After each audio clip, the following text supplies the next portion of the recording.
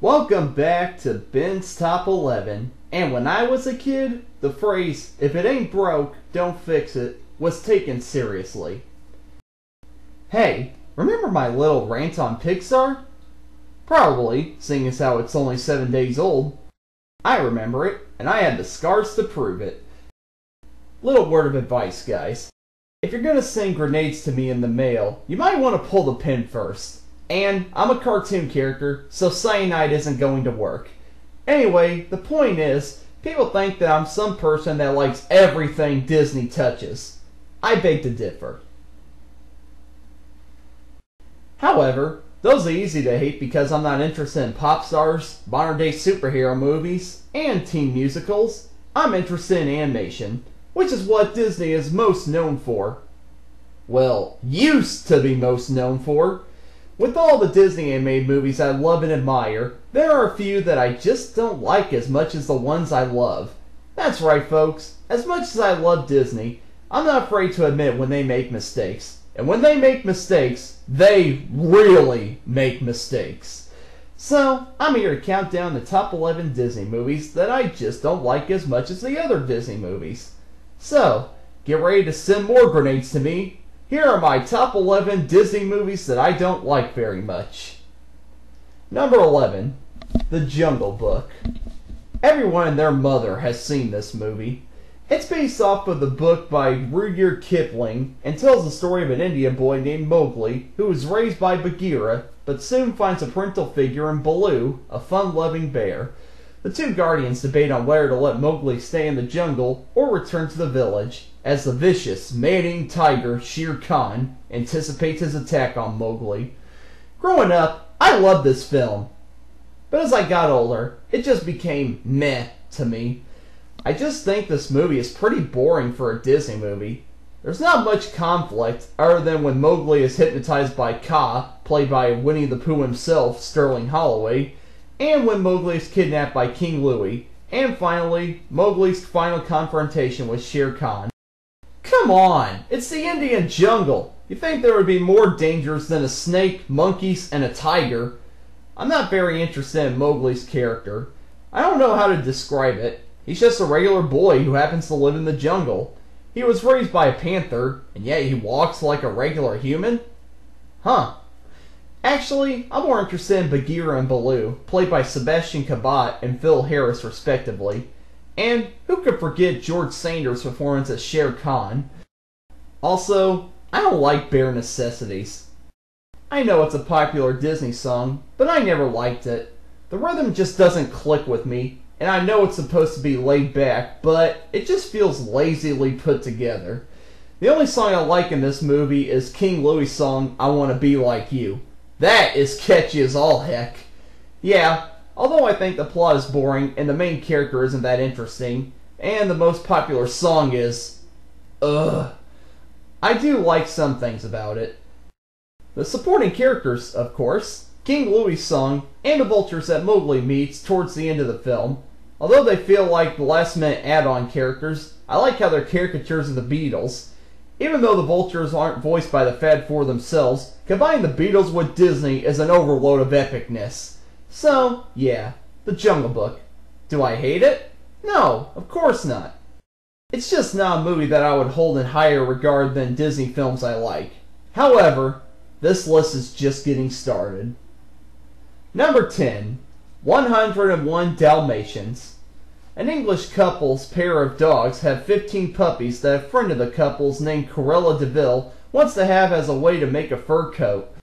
If she existed in real life, I'm sure PETA wouldn't think twice about adding her as their spokeswoman. Anyway, the puppies are kidnapped, and it's up to the dogs to save them. Again, this is a movie that I just find boring. But it's about dogs. However, wouldn't it have been so much cooler if the dogs were robot dogs running around with ray guns and blowing up things with flaming cats? Don't question my high expectations! Yeah, that's really my only complaint. However, there are several things I still like about it. I love the relationship between Pongo and Perdita. It's rare when you see a non-human Disney romance, and it's well done here. Plus, Cruella DeVille is a great villain because there are people out there like her, and that's what makes her so scary. She's the kind of woman that you just want to throw red paint on. Also, a little tidbit. This movie was actually influential to Matt Groening because of the scenes in the movie where the characters watch a TV show. That inspired Matt to create a TV show within The Simpsons, and that's what led to Itchy and Scratchy. Another epic blow to the mind.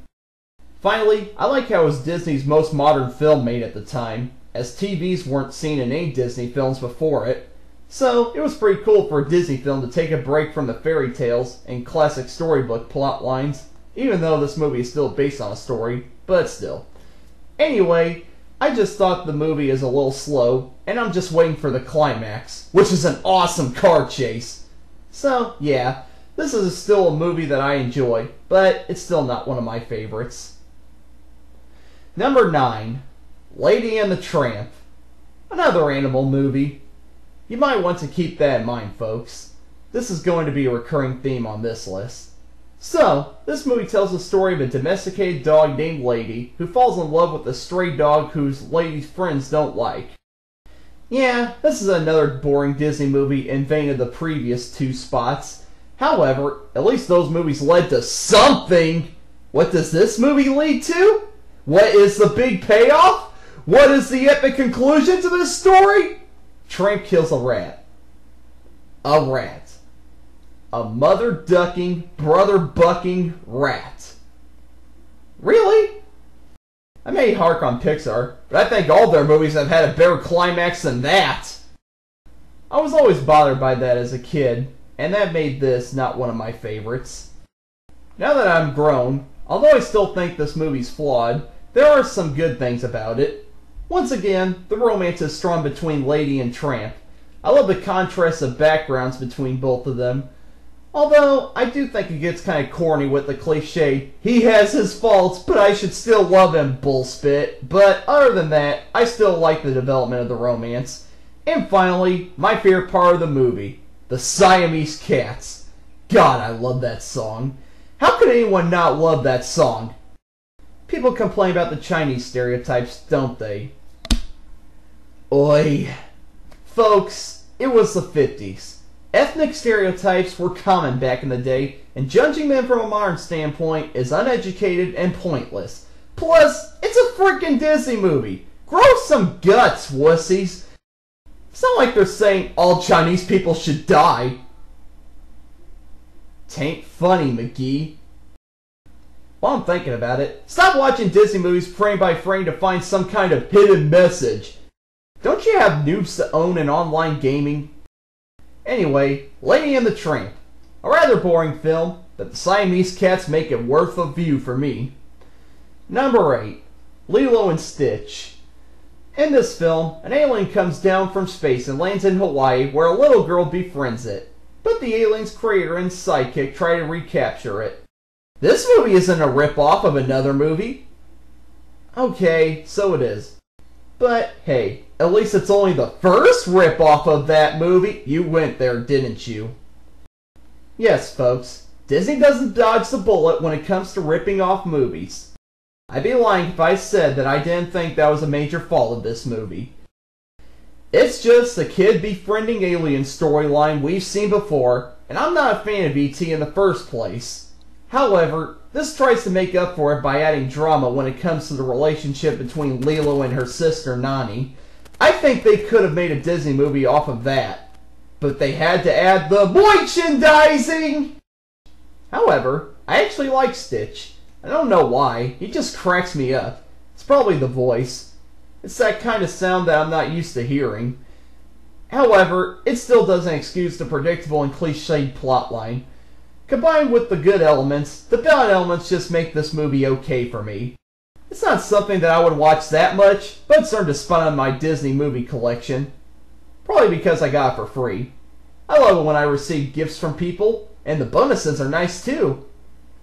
A free back scratcher along with a free movie? Who could ask for more? Number 7. I'm probably going to get a lot of hate mail for this. Me getting hate mail? Real shocker. But I guess this really is a big shocker, seeing as how there are only three people in this world that don't like this movie, and that is The Lion King.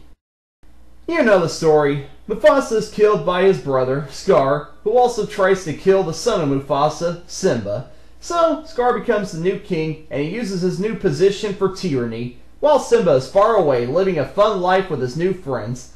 However, when Simba is visited by characters from his past, he realizes he must learn to return home to be the rightful king. I fit in the minority that thinks this film is overrated. I just don't get what everybody is raving about.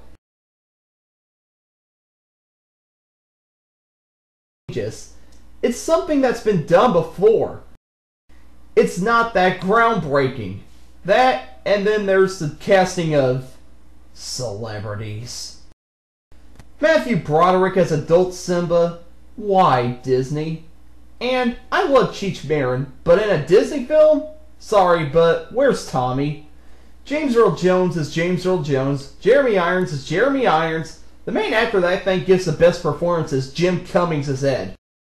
That character never even speaks. All he does is laugh, and I think that is the best performance. Jim Cummings, you are amazing.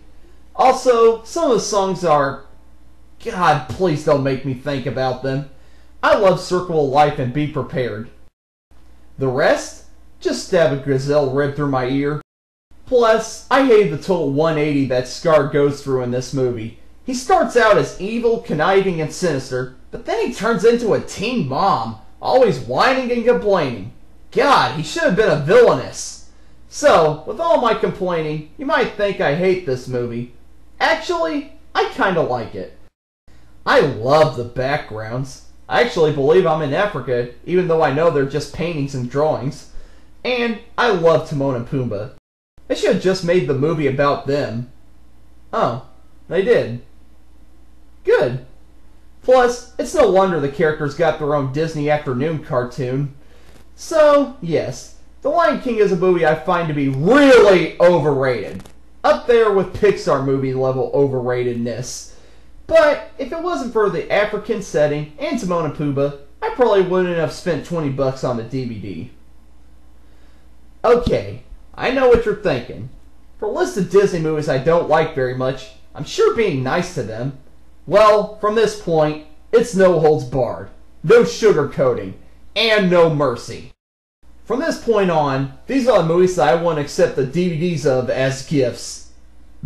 And despise with a passion. Number 6. Chicken Little.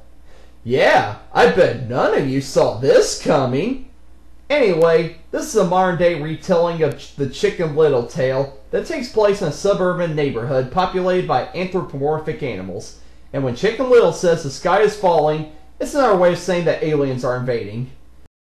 My biggest problem is that they try to make a full length movie out of a short fable, so they have to add a whole bunch of uninteresting story elements to beef it up. If this movie was being developed while Walt Disney was still alive, I bet he would have made it a straightforward story and made it a short, not a theatrical movie. But we ended up with this. Another added in element is the alien invasion gimmick. Yeah, if all else fails, bring in the aliens. Then there's a cliched story of a son trying to make his dad proud of him. Cut me a break, Disney. That's something Pixar would make a movie out of. And finally, this movie isn't funny. I just felt like I was watching a Disney Channel sitcom with the characters wearing animal costumes. I remember the jokes coming off more as odd and random than funny.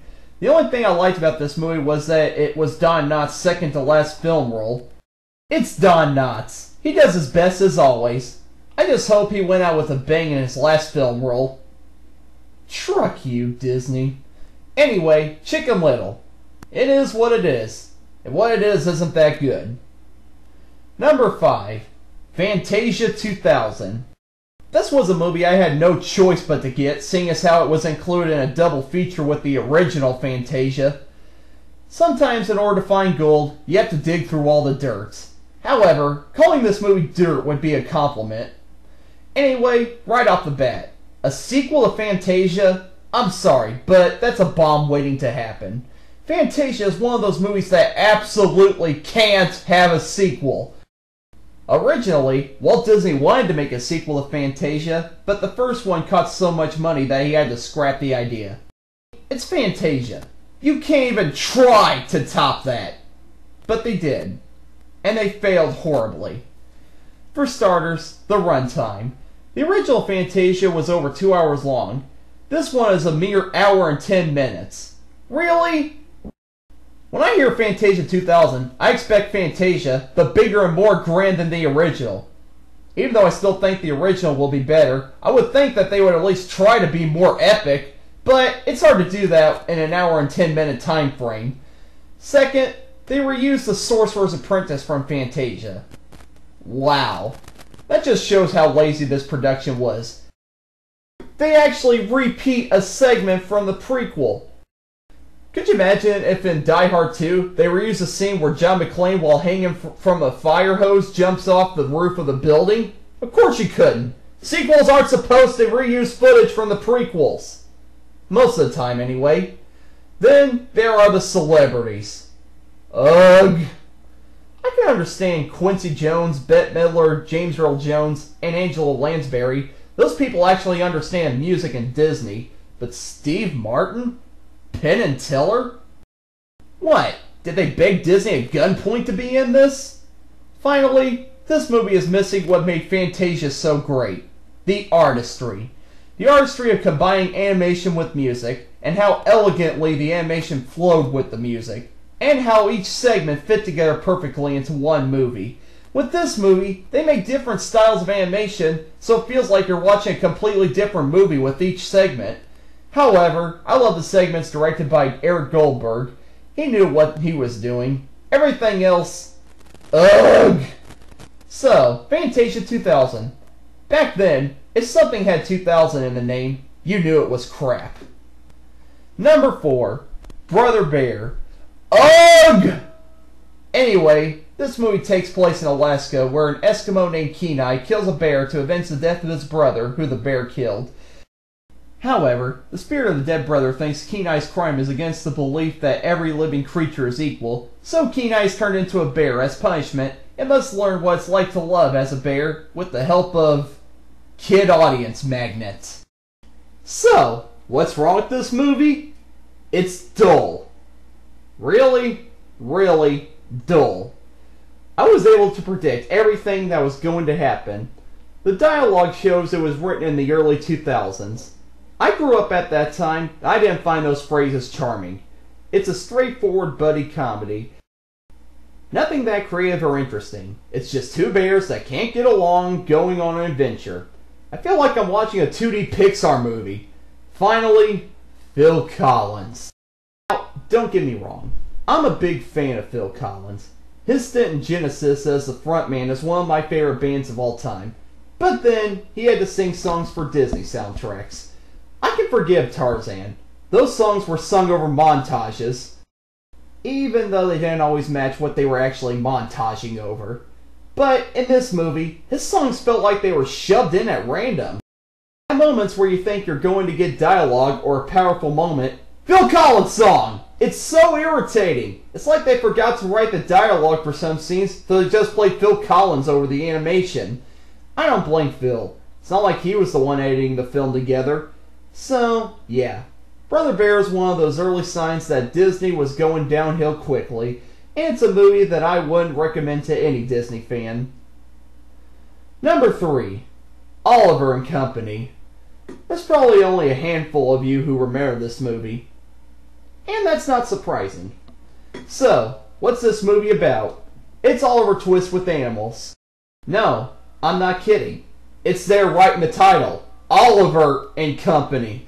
It's about a cat who gets lost from his owner, and he is taken in by a group of stray dogs and a bum who owes money to some businessman, and I don't know, this plot has Tourette's. Yeah, I already answered what the biggest problem with this movie is. It's Oliver Twist with animals. Disney, just because I love you doesn't mean you get to do the same thing that I don't like about Pixar. You can't just take an established story, make minor tweaks, and leave it at that. We all know the story, so we all know what's going to happen. There are no surprises and nothing to suspect because people are familiar with the story that a movie is borrowing the plot for. Anyway, that's only the first problem. The next problem is the songs. I love Billy Joel and Bette Midler, but the songs in this movie just sound like they were from the 80s. I'm not saying they're bad, they're just forgettable. I can't remember how many songs were in this movie. I wouldn't mind if Billy and Bette just sang the songs, but they also voice the characters that sing the songs. I'm sorry, but singers and voice actors aren't the same thing. And they don't do that good of jobs, in my opinion. Then we have the villain. He, he's so bland, so forgettable, and so uninteresting that all I remember about him is how he dies, which is debatably the most gruesome villain death in a Disney movie. Anyway, the animation doesn't look like it's Disney. It looks more like if Filmation was given a movie budget. Anyway, Oliver and Company. If you don't remember it, good for you. Number two, The Rescuers. This movie is up there with The Lion King on Disney movies in the manner that I don't understand why it gets so much praise. However, where The Lion King had some things I like, this movie just makes me hide my head in shame of being a Disney fan. Anyway, this is about a little girl who lives in the swamp with a pawn shop owner and her assistant who G-ratingly treat her badly and want to use her to find a priceless diamond. So, two mice who are members of a rescue society are sent to save her. Oh my god. This movie is boring. And I do mean boring. Capital B O R I N G. The plot is boring. The characters are boring. The dialogue is boring. Everything's boring! It's as straightforward as it gets. So boring that its climax is more boring than the build-up. What does this movie lead up to? The girl tries to get the diamond out from a skull while the tide slowly comes in. Wow. And I thought the climax from The Lady and the Tramp was disappointing. At least that was based around a living thing. In this film, it's a diamond. Yay, excitement. Yeah, that's my biggest problem with this movie. It's a chore to sit through. I don't know how I was able to manage it as a kid. I'll give props to Bob Newhart and Eva Gabor. They at least try to make this movie interesting, but the story's so dull that even they can't make it exciting to watch. The Rescuers. The only rescuing that needs to be done is having somebody saving you from putting it in your DVD player. Or VHS player. Take your pick. Number one. The Aristocats. My god. This movie makes The Rescuers slightly more enjoyable. So, what's the plot? A cat and her kittens are almost killed by a rich woman's butler who wants to make himself entitled to the woman's inheritance when she dies. So, with the help of an alley cat, the cats try to make it home to expose the butler for what he did. Where do I even begin? Aside from the plot that is so uninspired and bland that Stephenie Meyer could write a more interesting story, I can't remember the names of any of the characters. I would rather listen to a marathon of Lynyrd Skynyrd than to the songs in this movie. And finally, it's just a movie about cats being cats. That's it. They're just cats. Wow. Don't get me wrong, I'm a cat lover, but this movie makes me want to strangle kittens while their parents watch. It's like the babies in Rugrats. They just act like babies. There's nothing interesting about them. All they are are cats that act like cats. We've never seen that before, have we? What are these cats that you speak of? Yes, this is as bad as it gets, folks. Walt Disney would have been rolling in his grave Speaking of him, this was the first Disney movie made after Walt Disney's death. Well, thank God Robin Hood came out after this, otherwise that studio would have been screwed. Bottom line, The Aristocats is a movie that I'm lucky I'm still alive after watching it. It's a movie that I never want to waste my time with again. I'm better off just looking at LOL cat pictures. So, there are the 11 Disney films that I don't like or despise with a passion. If you like any of these movies, good for you. I'm sorry if I killed your childhoods. However, they're just not movies that I would watch over my favorite Disney movies. Are there any Disney movies you don't like? I'm sure these aren't the only ones that have a low reception among Disney fans. Anyway, I'm Ben T. Looney, and I'm signing out. I'm gonna go to my Cat Stranglers Anonymous meeting.